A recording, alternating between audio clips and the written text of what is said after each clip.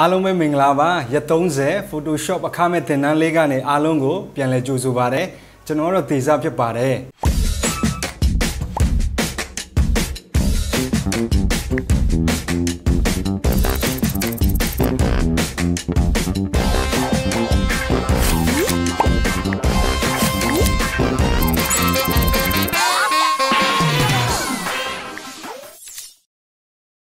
ဒီနေ့မှာတော့ကျွန်တော်တို့က Photoshop ထဲက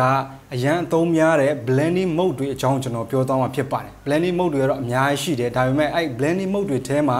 ဟလာကျွန်တော်တို့ category ခွဲလိုက်မယ်ဆိုလို့ရှိရင် multiply နဲ့အဖွဲရှိမယ်ပြီးလို့ရှိရင်ဟလာကျွန်တော်တို့ lighten ဒါမှမဟုတ် screen သူတို့ရဲ့ group ရှိမယ်နောက်တစ်ခုကတော့ကျွန်တော် overlay နဲ့ပတ်သက်တဲ့ group လေးတွေရှိမယ်အဲ့တော့ဒီဟာလေးနဲ့ပတ်သက်မှကျွန်တော်အဓိကပြောသွားမယ်ဘာဖြစ်လို့လဲဆိုတော့ကျွန်တော် graphic designer အနေနဲ့ကျွန်တော်တို့ကဟလာအလုပ်တွေလုပ်လာတဲ့အခါမှာတချို့ ပုံတွေဓာတ်ပုံတွေဆိုလို့ရှိရင်ကျွန်တော် stock photo လေးသုံးရတာများတယ်အဲ့တော့ stock photo ဆိုလို့ရှိရင်တကယ်တမ်း photographer တမားတွေကသူတို့ရိုက်တဲ့အချိန်မှာသူတို့ကနောက်ခံ background ကအမဲဒါမှမဟုတ်အဖြူနဲ့ရိုက်တယ်သူတို့ရိုက်တဲ့ရွယ်ချက်လည်းရှိပါတယ်။ဘာကြောင့်လဲဆိုတော့ Photoshop ထဲမှာအဖြူဆိုလို့ရှိရင်ကျွန်တော်တို့က multiply လုပ်လိုက်မယ်ဆိုရင်အဖြူကပျောက်သွားတယ်။ဟဲ့ပြီးလို့ရှိရင်ကျွန်တော်တို့က screen လုပ်လိုက်မယ်ဆိုလို့ရှိရင်အဲ့ screen ကအနောက်ခံအမဲတွေကိုဖျောက်လိုက်တာဖြစ်ပါတယ် ဒါကြောင့်မို့လို့လဲကျွန်တော်တို့ကဒီ multiply ရဲ့ screen ရဲ့ပြီး overlay ဒီလို lighting effect လေးနဲ့ပတ်သက်တဲ့ blending mode တွေအကြောင်းကိုကျွန်တော်ဒီနေ့မှာအားလုံးကိုစုံစုံလင်းလင်းပြောပေးသွားမှာဖြစ်ပါတယ်။ကဲဒါဆိုရင် Photoshop ထဲကိုကျွန်တော်စပြီးဝင်ရအောင်။ အဲ့တော့ကျွန်တော်ရဲ့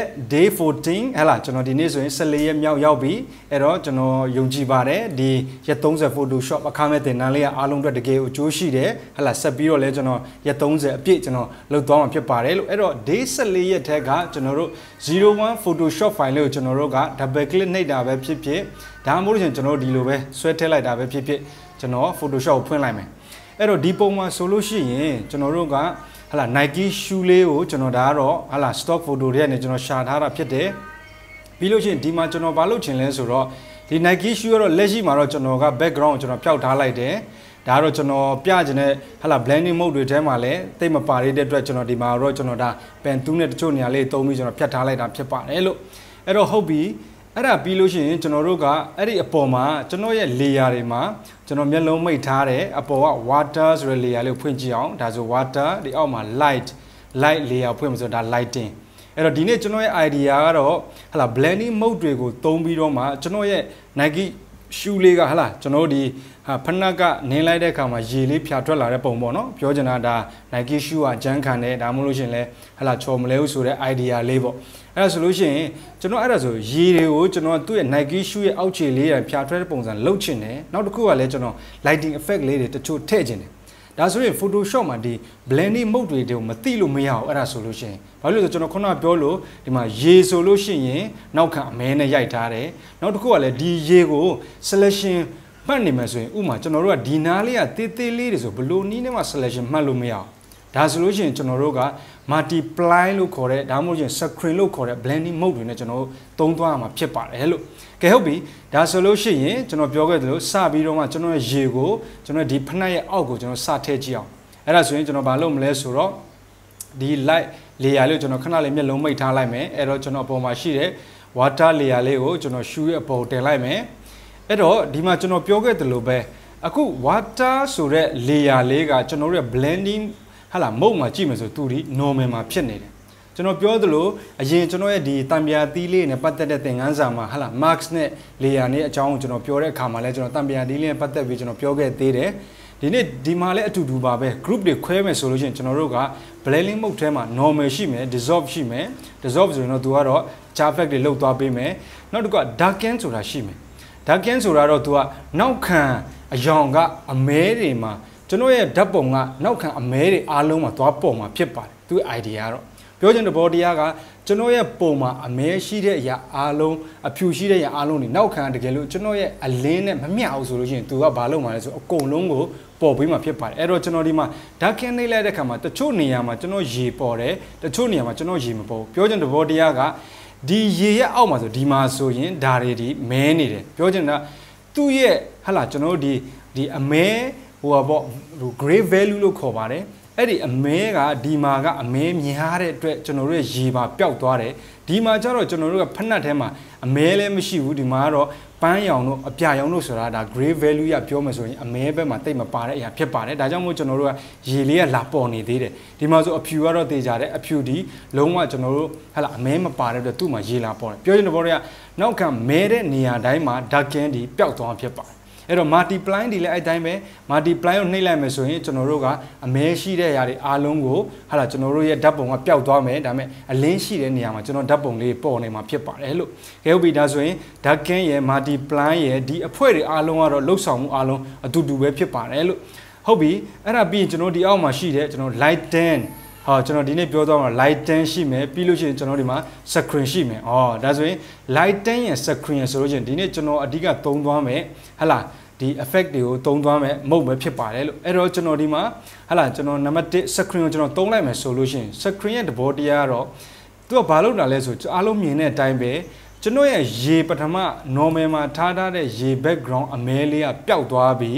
ပျောက်သွားပြီးမှကျွန်တော်က screen မှာထားလိုက်ပြီဆိုလို့ရှိရင် ကျွန်တော်ရဲ့ရေတွေကပေါ်လာတာဖြစ်ပါတယ်ဖနက်နေရာမှာကျွန်တော်ရဲ့အမဲတွေအားလုံးပျောက်သွားတာဖြစ်ပါတယ်အဲ့တော့ဒါက blending mode ရဲ့အားသာချက်ဖြစ်ပါတယ်ဒါဆိုလို့ရှိရင်ကျွန်တော်တို့ကရေကို selection လဲမှတ်လို့လဲမလွယ်ဘူးဒါဆိုရင်မြန်လဲမြန်တယ်လွယ်လဲလွယ်တယ်ပြီးတော့လဲလုံးဝတိကျတယ်ထိရောက်တဲ့ပုံစံနဲ့ဒါကျွန်တော်ရေကို select လုပ်လိုက်တာဖြစ်ပါတယ်အဲ့တော့အားလုံးပြောမယ်ဟုတ်ပြီဒါဆိုရင်ဒီမှာအမဲရောက်ကွက်နေသေးတယ်ဒါဆိုဘယ်လိုလုပ်မလဲဒါဆိုတော့လွယ်တယ်ကျွန်တော်တို့ဘာလုပ်မလဲဆိုတော့ဒီ water layer ကို select မှတ်တဲ့အချိန်မှာကျွန်တော်တို့ကဟလာကျွန်တော်တို့ရဲ့ဒီ adjustment layer ကိုခေါ်တာပဲဖြစ်ဖြစ်ဒါမှမဟုတ်လို့ရှိရင်ကျွန်တော်တို့ keyboard shortcut ဖြစ်တဲ့ control m command m ကိုခေါ်ပြီးတော့မှကျွန်တော်တို့ကဘာလုပ်မလဲဆိုလို့ရှိရင်ကျွန်တော်တို့ရဲ့ဒီဟလာဒီအကွက်အမဲနေရာလေးမှာကျွန်တော်တို့ကဒီဘက်ကိုအမဲကိုကျွန်တော်တို့ဘာလုပ်မလဲဆိုတော့လုံးဝမဲအောင်ချစ်ချလိုက်မယ်။အော်ဒါဆိုလို့ရှိရင်ဒီမှာခုနဖြစ်နေတဲ့အကွက်လေးတွေပျောက်သွားတာဖြစ်ပါတယ်။သူဒီမဲတာအားလုံးကိုဖျောက်မယ်ပြီးလို့ရှိရင်ဖြူတာအားလုံးကိုသူကပေါ်ပေးမှာ။ဒါက screen ဆိုတဲ့ blending mode ရဲ့လှုပ်ဆောင်မှုပဲဖြစ်ပါတယ်လို့။ ဟုတ်ပြီဒါဆိုရင်ကျွန်တော်ပြောတဲ့အတိုင်းပဲရေလေးရပြီကျွန်တော် blending mode လေးတုံးလိုက်တယ်အဲ့တော့ကျွန်တော်ဒီရေလေးကိုကျွန်တော်တို့ဟလာ command D control T နဲ့ကျွန်တော်နည်းနည်းလေး transform လုပ်လိုက်မယ်ကျွန်တော်အထင်နဲ့ကျွန်တော် idea ကတော့ဒါဒီနားလေးမှာသူနင်းလိုက်တဲ့အချိန်မှာကျွန်တော်တို့ရဲ့ဟလာရေလေးကဖြာထွက်လာတဲ့ပုံစံကျွန်တော်လုပ်ချင်တာဖြစ်ပါတယ်လို့အဲ့တော့ကျွန်တော်ဒါရပြီရတဲ့အချိန်မှာကျွန်တော်နည်းနည်းလေးဒီဘက်ကိုရေဖြာထွက်တဲ့ပုံစံအနေနဲ့ကျွန်တော်ဒီဘက်ကိုနည်းနည်းလေး right click နှိပ်ပြီးမှဒီမှာ warp နည်းနည်းသုံးလိုက်မယ် ဒီဘက်ကိုနည်းနည်းလေးဖြာသွားတဲ့ပုံစံနည်းနည်းလေးလုပ်ချင်တယ်ဟုတ်ပြီလို့ဟုတ်ပြီအဲဒါဆိုလို့ရှိရင်ကျွန်တော်တို့ကဟလာဒါဆိုရင်ရပြီဒါဆိုလို့ရှိရင်ကျွန်တော်တို့ဟလာဒီရေဒီဘက်အနောက်ပိုင်းလေးမှာတော့ဒါကတော့ဟလာကျွန်တော်တို့ stock photo ထဲကဟလာဒါဒီနားမှာမဖြတ်ပေးထားတဲ့အတွက်ကျွန်တော်တို့ဒီနားလေးကိုတော့ဒီအောက်က layer panel ထဲကကျွန်တော် mask icon လေးကိုယူလိုက်မယ်ယူပြီးတဲ့အချိန်မှာကျွန်တော်ဒီနေရာမှာအားလုံးသိပြီးဖြစ်တဲ့အတိုင်းပဲကျွန်တော်ရဲ့ brush ဒီမှာအမဲရွေးထားတဲ့အချိန်မှာကျွန်တော်ကမလိုချင်တဲ့နေရာကိုကျွန်တော် brush နဲ့လာပြီးဖုံးလိုက်မှာဖြစ်ပါတယ်လို့ flow နည်းနည်းတင်မယ် opacity ကိုတင်မယ်ဘာလို့ကျွန်တော်ဒီနားမှာမလိုတဲ့အတွက်အဲဒါဆိုရင်ကျွန်တော်ဒီနားမှာကျွန်တော်မလိုချင်တဲ့ရေလေးကိုကျွန်တော်ဖြတ်ထုတ်လိုက်ပြီဖြစ်ပါတယ်အဲဆိုလွယ်လွယ်ကူကူပဲဒါဥပမာနေနဲ့ကျွန်တော်ပြချင်လို့လည်းဖြစ်တယ်အဲ့တော့ဒီတိုင်းပဲရေကနင်းလိုက်ဒီမှာပြပြီးအနောက်မှာလည်းကျွန်တော်ဒီရေကိုထည့်ခြင်းတယ်ဒါဆိုလို့ရှိရင်ဒီ layer ကိုကျွန်တော်ဟလာ command J control J နဲ့ကျွန်တော် duplicate လုပ်လိုက်မယ်ပြီးလို့ရှိရင် ကျွန်တော် move tool လေးကိုရွေးပြီးမှကျွန်တော်တို့ဒီဘက်အနောက်ကိုရွှေ့မယ်ပြီးရင်ကျွန်တော်က command T နဲ့ right click နှိပ်ပြီးတော့မှဟလာ flip horizontal ကိုကျွန်တော်ရွေးလိုက်မယ်ရွေးပြီးလို့ရှိရင်ကျွန်တော်ဒီဘက်ဟာလေးကိုတော့ကျွန်တော်ဒီတိုင်းလေးဒီဘက်အောက်ခြေနားလေးကိုကျွန်တော်ယူမယ်အဲ့ဒါပြီးလို့ရှိရင်ဒီနားလေးကိုပဲယူမယ်ပြီးရင်ဒီကျွန်တော်ဒီဟာပြီးလို့ရှိရင်အမှန်ချစ်လာချစ်တာပဲဖြစ်ဖြစ် enter ခောက်တာပဲဖြစ်ဖြစ်ကျွန်တော်တို့ဟလာနှိပ်လိုက်မယ်ပြီးလို့ရှိရင်ဒီ max layer လေးမှာကျွန်တော် highlight လုပ်ပြီးတော့မှကျွန်တော်ရဲ့ brush အမဲရွေးထားတဲ့အချိန်မှာမလိုတဲ့နေရာလေးတွေကိုကျွန်တော်ဖြတ်ထုတ်လိုက်မှာဖြစ်ပါတယ်လို့အဲဒါဆိုလို့ရှိရင်ဒီနေရာလေးလားဒါဆိုရင်ကျွန်တော်ဒီပုံစံနဲ့ကျွန်တော်ဖြတ်ထုတ်လိုက်တာဖြစ်ပါတယ်လို့အဲ့တော့အားလုံးကတော့သိပြီးဖြစ်တယ်မှာရေဆိုလို့ရှိရင်ဒီဘက်အပေါ်မှာလဲဟလားကျွန်တော်တို့နည်းနည်းလေးဖြာထွက်နေဖို့တော့လိုတယ်အဲ့ဒါဆိုရင်ကျွန်တော်တို့နောက်ထပ်ဒီဟာလေးကို comment J control J နဲ့ကျွန်တော်နည်းနည်း duplicate ပြန်ယူလိုက်မယ်ပြီးကျွန်တော်လိုချင်တာဒီနားလေးကိုပဲကျွန်တော်တို့ကနည်းနည်းလေးဖြာထွက်တဲ့ပုံစံလေးလိုချင်တဲ့အတွက် ကျွန်တော် flip လုပ်လိုက်မယ်ပြီးရင်ဒီနားလေးကိုပဲကျွန်တော်လာပြီးတော့မှကျွန်တော်ရေလေးနည်းနည်းဖြာသွားတဲ့ပုံစံလေးပဲကျွန်တော်ဒီနားလေးမှာလာပြီးဆက်လိုက်မယ်ဟုတ်ပြီဒီနားလောက်ကိုပဲကျွန်တော်လာဆက်လိုက်မယ်ပြီးရင်ကျွန်တော် enter ခောက်တာပဲဖြစ်ဖြစ်မှန်ကျနေတာပဲကျွန်တော်ရပြီဒါဆိုရင်မလိုချင်တဲ့နေရာမှာကျွန်တော်ဒီနားလေးတွေကိုကျွန်တော်ရဲ့ brush နဲ့ကျွန်တော်ဟလာဖုံးလိုက်လို့ရတာဖြစ်ပါတယ်လို့ဒါဆိုဒီဘက်အောက်တွေကိုကျွန်တော်မလိုချင်ဘူးဒီနားလေးကိုပဲကျွန်တော်လိုချင်တာဖြစ်ပါတယ်လို့ဒီအောက်ကဆိုရင်ဒီနားလေးကိုကျွန်တော်ဖြတ်ထုတ်လိုက်မယ်အဲ ဒါတော့ဥပမာအနေနဲ့ကျွန်တော်ပြောချင်လို့ဖြစ်ပါတယ်လို့ကဲဟုတ်ပြီဒါဆိုဒီမှာရပြီ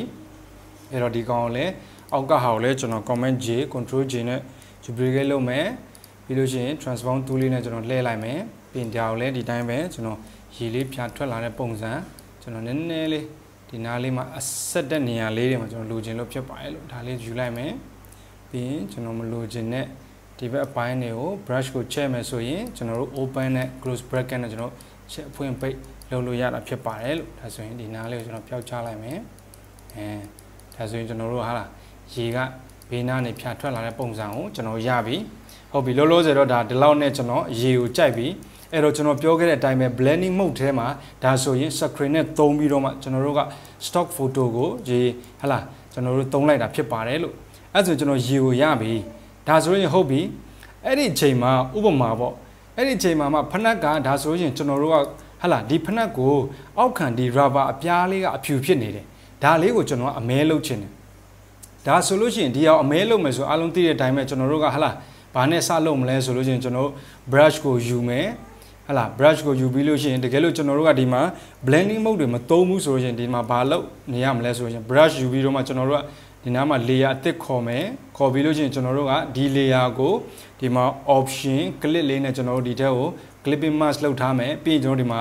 ဟလာ brush လေးနဲ့ကျွန်တော်တို့အမဲကိုလိုက်အောင်မယ်အဲအမဲလေးလိုက်အောင်မယ်အောင်မယ်ဟုတ်လားဒါဆိုရင်ဒီလိုမျိုးကျွန်တော်အမဲလေးလိုက်အောင်လိုက်မယ်ဟုတ်ပြီအဲ့တော့ဒါဆိုရင်ဒီနားလေးမှာကျွန်တော်ကအောက်ခံ rubber ပြားလို့အမဲလိုချင်တဲ့ကျွန်တော်ဒါမျိုးလေးအုပ်လိုက်မယ်အဲ့တော့အုပ်လိုက်တဲ့အချိန်မှာကျွန်တော်အားလုံးသိတဲ့အတိုင်းပဲဒါဆိုလို့ရှိရင်ကျွန်တော်ကဘာစသုံးတော့မလဲဆိုကျွန်တော်သိထားတဲ့ဟလာဒီမှာ opacity လေးကိုချတာပဲဖြစ်ဖြစ်တစ်ခုခုပေါ့အဲဒါဆိုမဲလာမယ်ဒီလောက်လား ဒါဆိုလို့ရှိရင်ကျွန်တော်တို့ကအောက်ခံဟလာ rubber ပြားမှာရှိတဲ့ကျွန်တော်တို့ဒီအဖူအပိန်လေးနဲ့ texture လေးတွေကပျောက်သွားတာဖြစ်ပါတယ်အဲ့ဒီခါကျရင်ကျွန်တော်တို့ဘာဝင်လာပြီလဲဆိုလို့ရှိရင်ကျွန်တော်ခုနပြောတဲ့ဒီမှာ blending mode ထဲမှာဘာရှိလဲဆိုတော့ကျွန်တော်တို့ရဲ့အမဲဒီအဖြူမှာဖြစ်တဲ့အတွက်ကျွန်တော်တို့ကဘာသုံးမလဲဆိုတော့ဒီမှာ multiply multiply ရဲ့သဘောတရားတော့သူကအမဲတွေအားလုံးကိုသူကပေါ်ပေးမယ်ပြီးလို့ရှိရင် အောက်ခံဟလာကျွန်တော်ဒီမှာ multiply နှိမ့်လိုက်တာနဲ့ကျွန်တော်တို့ဒီအမဲအားလုံးကိုပေါ်ပေးမယ်ပြီးလို့ရှိရင်ဘာဖြစ်သွားလဲဆိုတော့ကျွန်တော်ရဲ့ texture ကိုလည်းတိတိကျကျသူပေါ်ပေးတာဖြစ်ပါတယ်အဲ့တော့ဒီမှာ multiply သိမကြိုက်သေးဘူးဆိုရင်ကျွန်တော်အောက်မှာ linear band ဆိုတာရှိတယ် linear band ဟော linear band ဆိုလို့ရှိရင်ကျွန်တော်တို့ကနည်းနည်းလေးတင်လိုက်မယ်အဲဒါဆို linear band လားဟောဒါမှမဟုတ်ကျွန်တော်နည်းနည်းလေးတင်မယ်ဟောဒါဆိုရင် linear band နဲ့ကျွန်တော်တို့အမဲကိုကျွန်တော်ကစားထားတာဖြစ်တယ်အောက်က texture လေးလည်းကျွန်တော်မြင်ရတယ်ပြီးလို့ရှိရင်ကျွန်တော်တို့လိုချင်တဲ့ဟလာ အဖြူကနေလည်းအမဲဖြစ်သွားတာဖြစ်ပါတယ်လို့ဒါဆိုလို့ရှိရင်ကျွန်တော်တို့ကအောက်ခံ rubber ပြားလေးကိုကျွန်တော် blending mode လေးသုံးပြီးမှကျွန်တော်လှုပ်လိုက်တာဖြစ်တယ်အဲ့ဒီအချိန်မှာကျွန်တော်ဟုတ်ပြီ linear band သုံးထားပြီဒါပေမဲ့ကျွန်တော်ရဲ့အမဲကဟလာကျွန်တော်တို့ဒီမှာ opacity တင်လိုက်လို့ရှိရင်ဒီမှာအရင်မဲနေဆိုကျွန်တော်တို့ short မယ်ဆိုလို့ရှိရင်ကျွန်တော်သိထားတဲ့အတိုင်းပဲ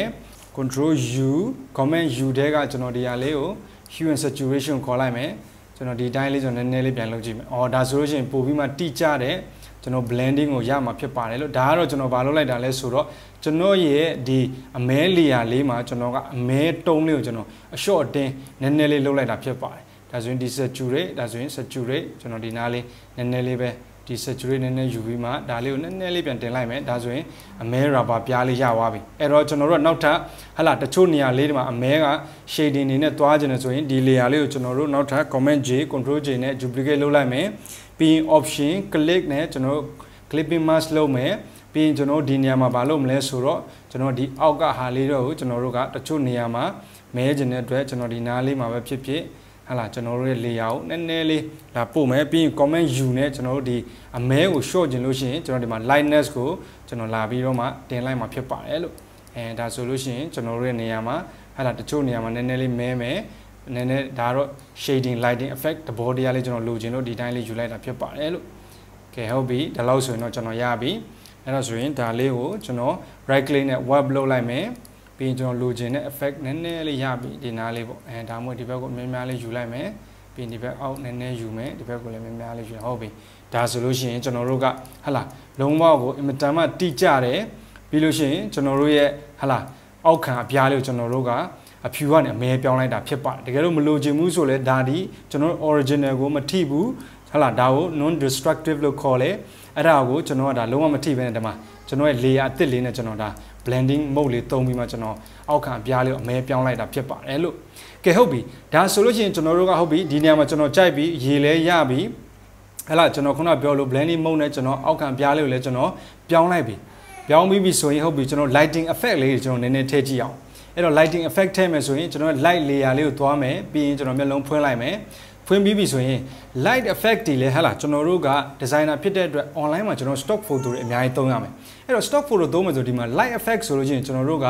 designer တော်တော်များများကဒါဒီသုံးလို့လွယ်အောင်လို့ပြီးလို့ရှိရင် light lighting ဖြစ်တဲ့အတွက်သူတွေနောက်ခံအမဲပဲသုံးရတာဖြစ်ပါတယ် အမဲမသုံးရင် light အတွက်ကျွန်တော် effect ဘယ်လို့မှမရနိုင်ဘူးအဲဒါကြောင့်မို့ကျွန်တော်တို့နောက်ခံအမဲသုံးထားတယ်ဒါဆိုရင်ကျွန်တော်တို့ပထမရေရဲ့ technique အတိုင်းပဲဗာသုံးမလဲဆိုတော့ကျွန်တော်တို့ဒီမှာလာပြီးတော့မှ screen ဆိုတဲ့မှာဟာလာကျွန်တော်တို့ရဲ့နောက်ခံကျွန်တော်ဖျောက်ချလိုက်မယ်အဲဒီမှာကျွန်တော်တို့ lighting လေးတွေပဲကြံခဲ့မယ်ကြံခဲ့တဲ့အချိန်မှာကျွန်တော်ဗာလုပ်မလဲဆိုတော့ဒီ lighting လေးကြံခဲ့တဲ့အချိန်မှာကျွန်တော်ဗာယူမလဲဆိုရင်ဒီနားလေးကို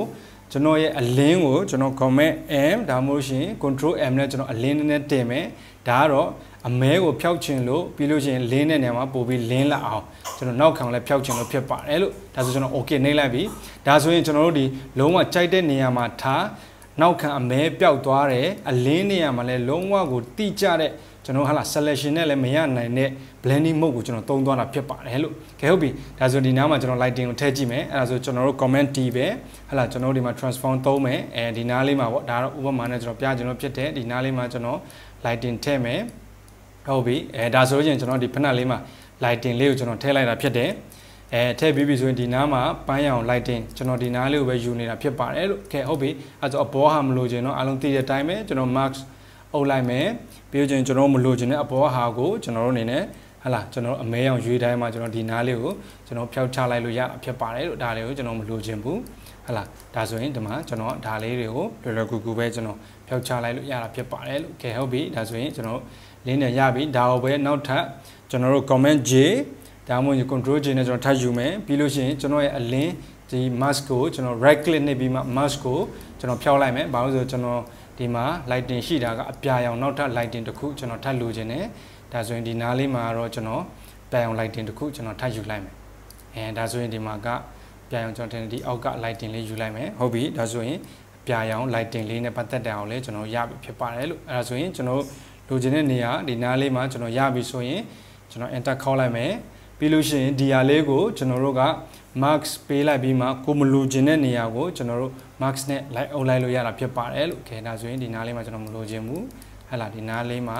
ကျွန်တော်မလိုချင်ဘူးဒါတော့ဒါဒီဟာမှာ lighting နဲ့အများကြီးပါနေလို့တချို့ဆိုလို့ရှိရင်ဒါ lighting အပြာဆိုအပြာအတွက်တီးသက်လောက်ထားတဲ့ဟဲ့လားကျွန်တော်တို့ background လေးရွေးလို့ရတာဖြစ်ပါတယ်လို့ဒါဆိုလို့ရှိရင်ကျွန်တော်တို့ဒါ lighting ဥပမာအနေနဲ့ပြချင်လို့ဖြစ်တဲ့ဒီနားလေးမှာထားကြည့်လိုက်အဲကျွန်တော်တင်တယ်နားမှာထားကြည့်အောင်နော်ဟုတ်ပြီ ဒါဆိုလို့ရှိရင်ကျွန်တော်တို့က lighting နဲ့ပတ်သက်တဲ့ effect လေးတွေကျွန်တော်ရပြီဖြစ်တယ်ဟောက်ကဟာလေးကိုကျွန်တော်ဒီနားလေးနည်းနည်းလေးတင်ကြည့်အောင်ဟုတ်ပြီကဲဟုတ်ပြီဒါဆိုရင်ကျွန်တော်က lighting effect ကိုလည်းကျွန်တော်သိပြီ lighting effect ကိုကျွန်တော်ဘယ်လိုသုံးသွားတာလဲဆိုတော့ဟလာ blending mode ထဲက screen ကိုသုံးပြီး background ကိုလွယ်လွယ်ကူကူဖျောက်လိုက်တာဖြစ်တယ်ရေကိုလည်းအဲ့တိုင်းပဲဖြစ်ပါတယ်လို့ဒါဆိုရင်ကျွန်တော်တို့က effect တွေအားလုံးရပြီကဲဟုတ်ပြီဒါဆိုရင် blending mode ကအရင်လည်းအသုံးဝင်တယ်ဟာလာကျွန်တော်တို့ ဘာမှဟာလာကဲကဲကဲလုံနေကြမလို့ပဲနဲ့အရင်မြန်တဲ့ effect တစ်ခုရသွားတာဖြစ်ပါတယ်အဲ့တော့ပြီးတော့ဟုတ်ပြီဒါဆိုကျွန်တော်နောက်ထပ်ဟာလာထပ်တိုးပြီးတော့ကျွန်တော်နည်းနည်းလေး push လုပ်ကြည့်မယ်အဲ့တော့ဒီရေလေးတွေမှာ lighting နဲ့ကျွန်တော်ပြောပြီးဖြစ်တဲ့အတိုင်းပဲရေမှာလည်းကျွန်တော်တို့က lighting လေးတွေ light ထည့်ကြည့်အောင်အဲ့ဆိုလွယ်တယ်အဲ့တော့ကျွန်တော်တို့ကဘာယူမလဲဆိုတော့ဒါဒီရေ lighting လေးတွေဖြစ်တယ်အဲ့တော့ဒီနှစ်ခုကိုကျွန်တော်ကဟာလာကျွန်တော်ဘာလုပ်မလဲဆိုတော့ကျွန်တော်တို့ဒီမှာ control e command e နဲ့ကျွန်တော်ပေါင်းချလိုက်မယ်ပေါင်းလိုက်ပြီဆိုလို့ချင်းသူကဒီမှာ screen ဆိုတဲ့ mode ကပြန်ပျောက်သွားတာဖြစ်တယ်ဒါလွယ်တယ်ကျွန်တော်တို့ဘာလုပ်မလဲဆိုတော့ဒီမှာသွားပြီးတော့မှ screen ဆိုတာကျွန်တော်ပြန်နှိပ်လိုက်တာနဲ့ကျွန်တော်လိုချင်တာပြန်ရမှာဖြစ်တယ်ဒီမှာလည်းအဲ့တိုင်းပဲဒီနေရာမှာကျွန်တော် command e ကျွန်တော်နှိပ်လိုက်တာနဲ့ဒီနေရာမှာကျွန်တော်မလိုချင်တဲ့ဟာလားဟာလာကျွန်တော်တို့ screen mode ကိုကျွန်တော်ပြန်သွားလို့ရတာဖြစ်ပါတယ်လို့ကဲဟုတ်ပြီအဲ့ဆိုဒီအနောက်ကရေမှာကျွန်တော်ကနောက်ထပ် layer အသစ်တစ်ခုခေါ်ပြီးမှသူ့ကို lighting effect လေးထည့်မယ် အဲ့တော့ lighting effect ထည့်မယ်ဆိုရင်ကျွန်တော် blending mode မသုံးဘူးဆိုလို့ရှိရင်အရန်ခက်တယ်ဥပမာကျွန်တော်တို့ opacity နည်းနည်းလေး short ထားမယ်ပြီးရင် brush ကိုလည်းနည်းနည်း short မယ်ဒါလေးနဲ့ကျွန်တော်တို့လိုချင်တဲ့ဟာလာဒီမှာဆိုပန်းရောင်ဆိုရင်ကျွန်တော်တို့က option လေးထောက်ပြီးမှကျွန်တော် eyedropper tool လေးကျွန်တော်ယူလိုက်မယ်ပြီးရင်ကျွန်တော်အလင်းလေးလိုက်ထည့်မယ်ဒါဆိုအင်မတန်မှမဖြစ်နိုင်တဲ့အရာဖြစ်ပါဘာဖြစ်လို့ရေကဘာဖြစ်လို့လဲဆိုတော့ဒီမှာဆိုလို့ရှိရင်ရေကသူကဒီအောက်ကဟာလာဒီအမဲနေရာမှာလဲကျွန်တော်တို့က lighting အဖွဲ့တွေ lighting လေးကျွန်တော်တောင်းဝင်နေတာဖြစ်ပါတယ် ဒါဆိုရင်ကျွန်တော်ဘာသုံးမှရမလဲဆိုဒီမှာလည်းအတူတူပဲကျွန်တော်ဘာသုံးမလဲ overlay ဟလာဒါဆိုလို့ရှိရင်ကျွန်တော်တို့က overlay ကိုကျွန်တော်သုံးမယ်ဆိုလို့ရှိရင် overlay တဘောတရားကကျွန်တော်ရဲ့ဒီ lighting value ဟလာအဖြူနဲ့အမဲရှိတဲ့နေရာမှာသူဒီကျွန်တော်ရဲ့အယောင်လာဖြည့်တာဖြစ်ပါတယ်အမဲနေရာမှာသူဒီလုံးဝမပေါ်ဘူးအဖြူရှိတဲ့နေရာမှာပဲပေါ်တာဖြစ်ပါတယ် အမဲနေရာမှာတော့ပေါ်တယ်အမဲဖြစ်တဲ့အတွက်အမဲမှာဘာမှမမြင်ရတော့တာဖြစ်ပါတယ်လို့ဒါဆိုလို့ချင်းကျွန်တော်တို့က lighting effect လေးကိုဒီမှာ overlay နဲ့သုံးပြီးတော့မှ soft light လေးအာဒါမှမဟုတ်လို့ချင်းကျွန်တော်ကဟာလာ overlay လာဒါဆိုရင်ပို့ပြီးမြင်ရမယ်ဟုတ်ပြီဒါဆိုလို့ချင်း overlay နဲ့သုံးမှအော်ကျွန်တော် lighting effect လေးမှာရေမှာလည်းကျွန်တော်အလင်းပြန်တဲ့ပုံစံလေးကျွန်တော်သုံးလို့ရတာဖြစ်ပါဟောဒါဆိုလို့ချင်းဒါကတော့ပန်းရောင်ရေဖြစ်တယ်ပြီးရင်နောက်ထပ်ကျွန်တော်ဟလာ new layer ခေါ်မယ် option click နဲ့ကျွန်တော် clipping mask လုပ်မယ်ပြီးရင်ကျွန်တော်တို့ ဟလာ brush လေးကိုဒီနားလေးကအယောင်အပြာရောင်လေးကျွန်တော်ထောက်လိုက်မယ်ပြီးရင်ကျွန်တော်လိုချင်တဲ့ဒီဘက်မှာကျွန်တော်အပြာရောင်လေးလာချဲမယ်ချဲပြီးလို့ချင်းကျွန်တော်လွယ်လွယ်ကူကူပဲဒီမှာပါရွေးမလဲဆိုတော့ soft light ဒါမှမဟုတ်လို့ရှိရင်ကျွန်တော် overlay ကိုကျွန်တော်ရွေးလိုက်မယ်ဆိုရင်ကျွန်တော်တို့ရဲ့ lighting effect တိုင်းပဲရေမှာလဲလာပြီးတော့မှကျွန်တော်ဟလာ effect လာရိုက်နေတာဖြစ်ပါတယ်လို့ဒီဘက်ကိုလည်းအဲ့တိုင်းပဲကျွန်တော်လွယ်လွယ်ကူကူပဲဟလာကျွန်တော်ဒီဘက်မှာဒီဘက်ကိုရွေးထားတဲ့အချိန်မှာကျွန်တော်ဒီမှာ new layer ခေါ်မယ် option click နဲ့ clipper mask လုပ်မယ်ပြီးလို့ရှိရင်ကျွန်တော်ဟလာ brush ကိုရွေးမှဒီမှာဆိုရင်အပြာရောင်ကိုဒီနားလေးကနေစယူမယ်ယူပြီးတဲ့အချိန်မှာကျွန်တော်ဘာလုပ်မလဲဆိုတော့ဒီဟာလေးကိုကျွန်တော်ကဟလာ soft light ဒါမှမဟုတ်လို့ရှိရင်ကျွန်တော်ဒီမှာ overlay နဲ့ကျွန်တော်ရွေးလိုက်ပြီဆိုလို့ရှိရင်ကျွန်တော်ရဲ့ဒီရေ layer လေးမှာကျွန်တော်အပြာရောင်လေးစထွက်လာဖြစ်ပါတယ်အဲ့တော့ဒီမှာဒီဘက်ကိုကျွန်တော်ပိုင်းအောင်ထည့်မယ်ဆိုရင်နောက်ထပ် layer တစ်ခုခေါ်မယ်ဒါလေးကိုကျွန်တော် clipping mask လုပ်မယ်ပြီးရင်ဒီနားလေးမှာ ကျွန်တော်တို့ကပိုင်းအောင်နေရာကိုရွေးလိုက်မယ်ပြီးတာနဲ့ကျွန်တော်ဒီမှာ overlay soft light တခုခုရွေးလိုက်တာနဲ့ဟောကျွန်တော်ရဲ့ lighting effect နဲ့ပတ်သက်တဲ့ဟလာဟောရေမှာလဲသူက lighting လာပြီးတော့မှရိုက်တဲ့ပုံစံလေးနဲ့ကျွန်တော်တို့ရဲ့ရေ effect လေးကိုလည်းကျွန်တော်တို့ကစားလို့ရတာဖြစ်ပါတယ်လို့ဟောဒါဆိုလို့ရှိရင်ကျွန်တော်တို့ကလွယ်လွယ်ကူကူပဲမြန်မြန်ဆန်ဆန်ပဲဟလာကျွန်တော်တို့ blending mode မသုံးဘူးဆိုလို့ရှိရင်ဒီလိုဟလာ graphic design ကိုဘယ်လို့မှလုပ်လို့ရမှာမဟုတ်ပါဘူးလို့ အဲ့တော့ဒါဒီကျွန်တော် blending mode ကိုဦးစားပေးပြောသွားချင်တာဖြစ်တယ်အဲ့ဒါဆိုလို့ရှိရင်ဟလာကျွန်တော်ဒီနေ့ tutorial လေးကအားလုံးအတွက်တကယ်ပဲအရန်ကိုထိရောက်မယ်အားလုံးအတွက်လည်းတကယ်ပဲအကျိုးရှိမယ်လို့ကျွန်တော်မျှော်လင့်တယ် blending mode ကိုတခြား mode တွေလည်းရှိတာဖြစ်ပါတယ်อืมကျွန်တော်ဒီနေ့မပြောသွားတဲ့အထဲမှာဆိုအောက်မှာကြည့်မယ်ဆိုရင်ကျွန်တော်တို့ဟလာဒီမှာ hard light လို့ပြီးလို့ရှိရင်ဒီမှာ difference လို့ပြီးလို့ရှိရင်ဒီမှာ luminosity saturation ဒါတွေလည်းရှိတာဖြစ်ပါတယ် အဲ့တော့ဒါလေးတွေကိုအားတဲ့ချိန်မှာကိုကိုတိုင်ကစမ်းတပ်ပြီးမှလေ့လာထားပါကျွန်တော်တို့ဒါဒီနေ့ကျွန်တော်ဒါတွေအားလုံးပြောမယ်ဆိုလဲတနေကုန်နဲ့ဒီဗီဒီယိုလောက်မှာမဟုတ်ပါဘူးလို့ဒါကြောင့်မို့ဒီနေ့ကျွန်တော်ပြောသွား tutorial နဲ့အားလုံးအသုံးဝင်မယ် overlay ပြီးလို့ရှိရင် screen ဒါမှမဟုတ် multiply mode လေးတွေသုံးပြီးမှကျွန်တော်ရဲ့ဟာလာ Nike shoe လေးကျွန်တော်ဒီဇိုင်းလုပ်ပြသွားတာဖြစ်ပါတယ်လို့ဒီဗီဒီယိုလေးကတကယ်အကျိုးရှိတယ်ဆိုရင်ကျွန်တော်တကယ်ချင်းတွေနဲ့ဝေမျှပေးပါဒီ post လေးကို like ပါ share ပါ